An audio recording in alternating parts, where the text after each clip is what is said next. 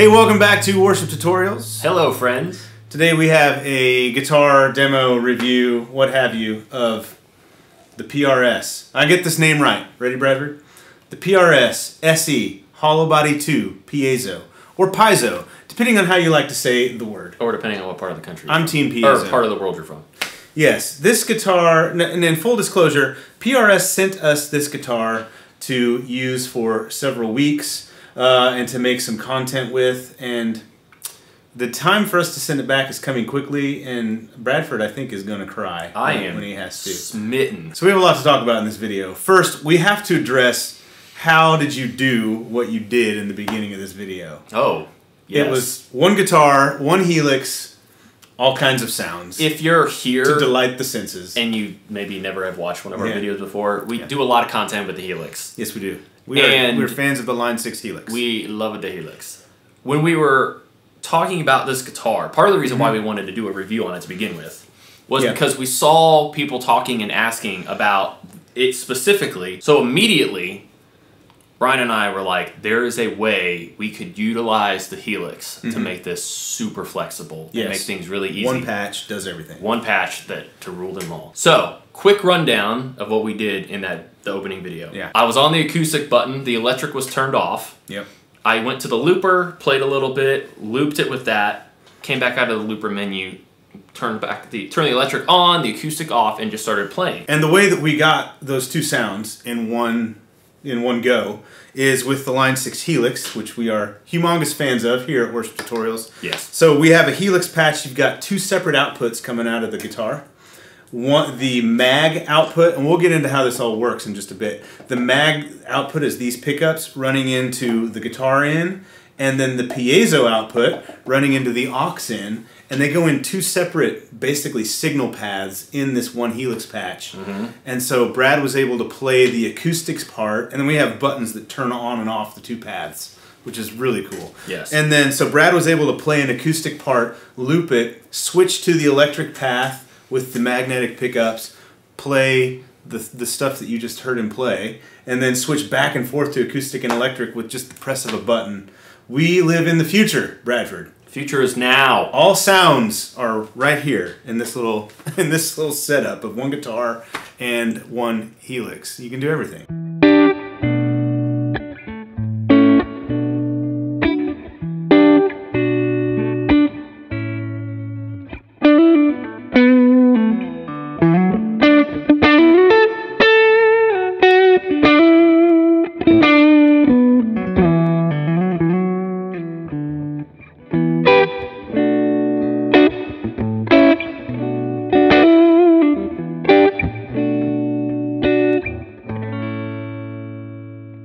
So let's talk specs. What do you get with this guitar?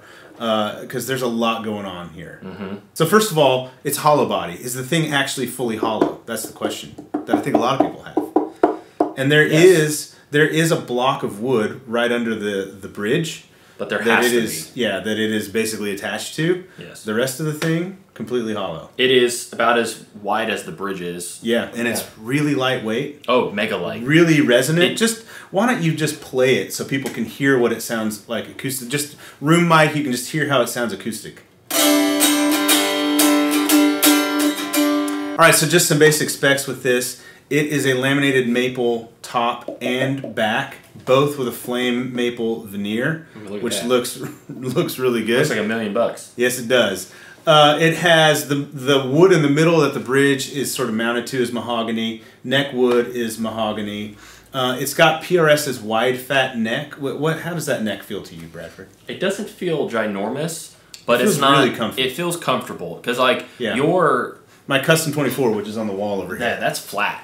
It's the me. It's the wide thin. Yeah. Yeah, And like I don't dislike it, but this is more up my alley. Like I like having a little that's bit of something. It's chunkier. Yeah. But the neck is like the. It's rounded over. Like the the edge of the fretboard is kind of rolled, and the fretwork on this thing is just immaculate. It's, just donkey. It's really good. Yeah, and so it's got PRS SE tuners. Um, have you had any, Brad? You've been playing this guitar for a week, and you played it on a Sunday recording. Yeah. So we've been recording on Sundays Any at my tuning church, issues? Yeah. and I took it with me. Mhm. And no, I mean like Yeah, That's I- the I- true test for you. That is you got to the use test. it live. I got to use it live. Yeah. So I was like, I'm gonna take this and I'm gonna use this live. Yeah. But like, I mean, sure. Like after pounding your way through a, a five Like or six guitar. minute song, like Yeah. most guitars, I, I mean, but I tune. I will tune in the middle of a song if I get to stop playing. I will tune, and I think I actually made it through. We actually did two songs back to back, and I didn't get to tune between Mm. the two, and it was just fine. Yeah. Which again, I would expect to do a little something. So I mean, it's impressive. Yeah, no PR and PRS guitars, SE, S2, Core, the whole line, they're built just with a really super high level of excellence and and you know I've never played one that didn't feel great, and they all feel very consistent, Yeah. and they all are set up great. They they're all they all hold tune well. They're just really well built uh, guitars.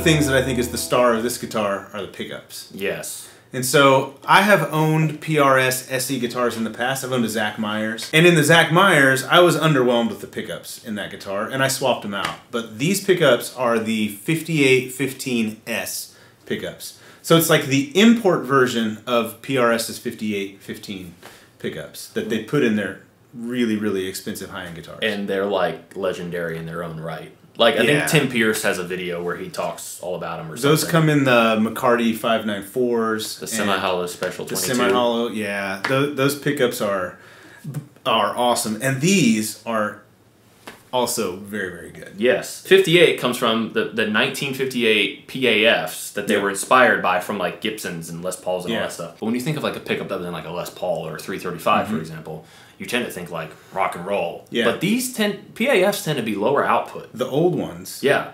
the They- old, yeah. A lot of So- people compare the old Gibson Les Pauls, like the fifty, the late fifties, to like a Telecaster, just a little bigger. Yeah. Yeah, So PAF means patent applied for, and Mm. that's kind of just been like what they've been stuck, or like the name stuck.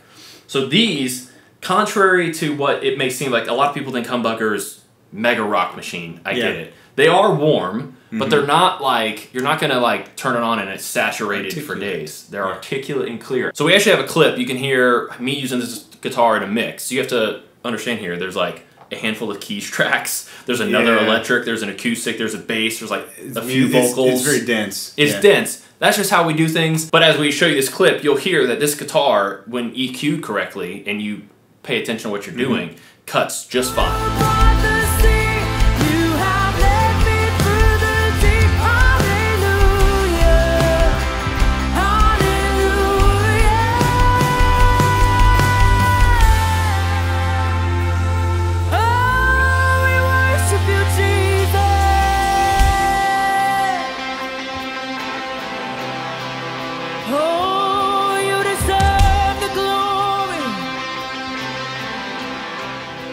And the final thing I'll say about the pickups is here we at Worship Tutorials we are self-proclaimed pickup snobs.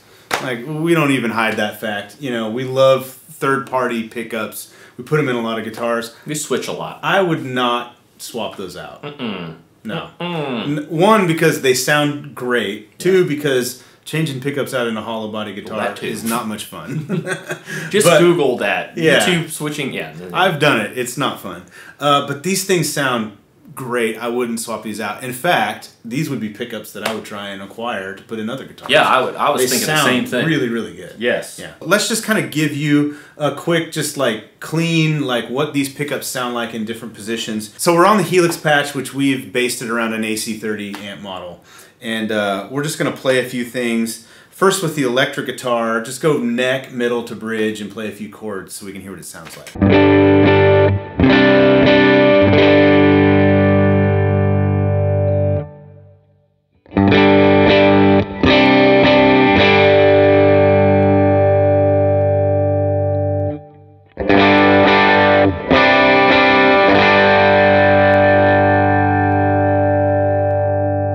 Okay, so now we're going to hear the piezo output through the acoustic chain. Now, we did do uh, a little bit of magic on this. We made a custom impulse response for this guitar, matching it to my McPherson Camerata acoustic guitar, which is no slouch.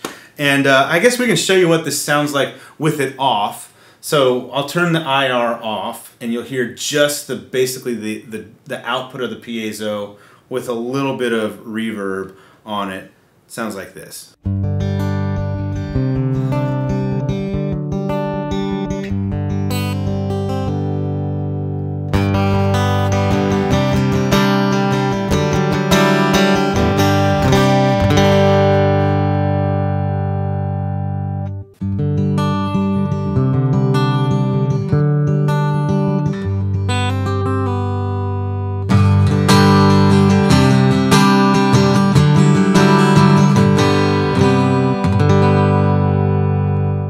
First impression, Bradford, when it comes to that piezo, is I've heard a whole lot of real acoustic guitars Actual plugged acoustic in guitars. that sound way worse. Yeah. Oh my goodness, that is impressive, especially with the IR. Yeah. With the impulse response, it really does make it sound more like a mic'd acoustic guitar. Yeah.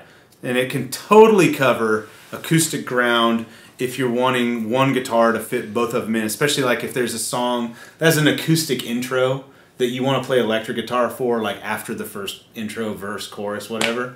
Like this is perfect for that application. Yeah. You don't have to switch guitars. Yeah. You can do it as one guy.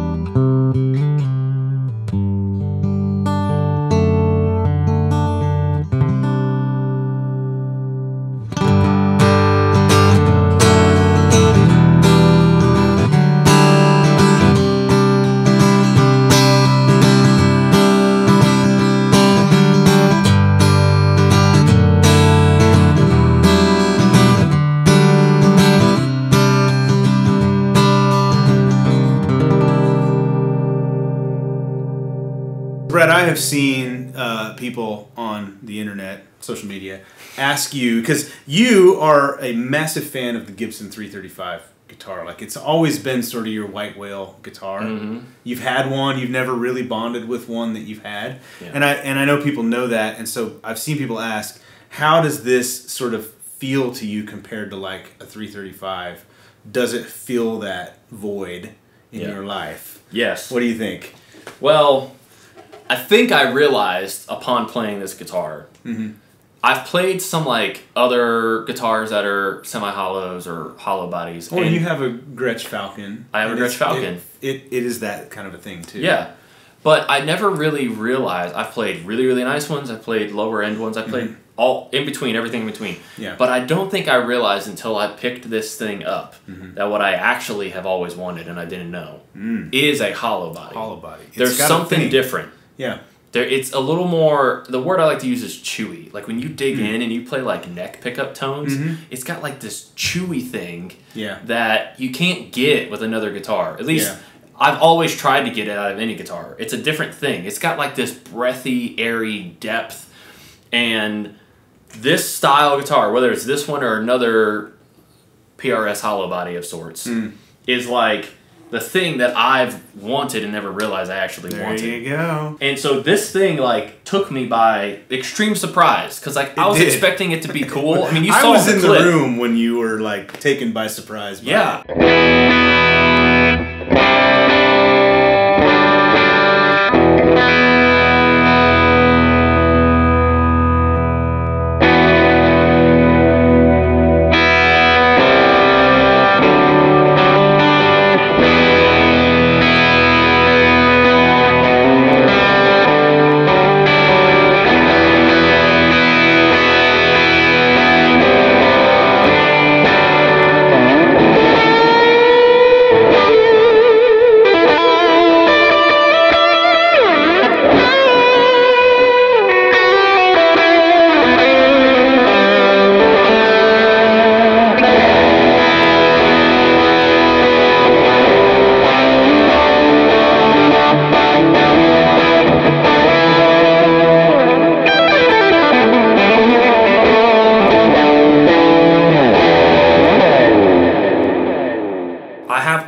People say that they like PRS is so perfectly playing that that Yeah. that, that can be hard for like That it- is a thing with the custom 24. that custom twenty four flies. it's just, I mean, there's it's flawless. Yeah, Yeah. but this with the little bit of a bigger neck and a little bit with the hollow body.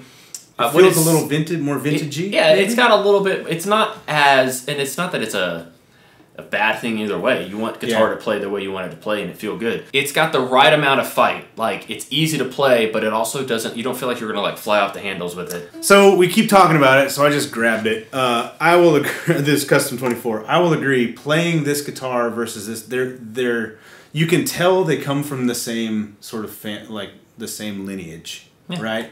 Like they feel like PRS feels, which is Yeah. which is just almost perfect. And they they got like the same similar they- silhouette and all that. but yeah. they do have a different thing as far as like the feel of playing them. yeah. Like this guitar is extremely resonant. When you play it, like you can definitely feel the whole thing. It's just you know, but that one, when you play it, it just the the vibration against your body is so much greater, just because it's a like it's an acoustic instrument, you know, basically because it's a fully hollow guitar. Yeah. that is a different thing. The neck again is different. It's just um, they are. It's it's pretty cool though how you can tell like this is a 10 top custom 24 like this is like you, you can go higher end with PRS, but really what you get when you go higher end is just different wood choices. And this is an SE. You know, this is an import line. And so they're made in different places, but they definitely still have the same heart and soul Yeah. and PRS thing that in both of them, which is really impressive to me as a company that they're able to pull that off.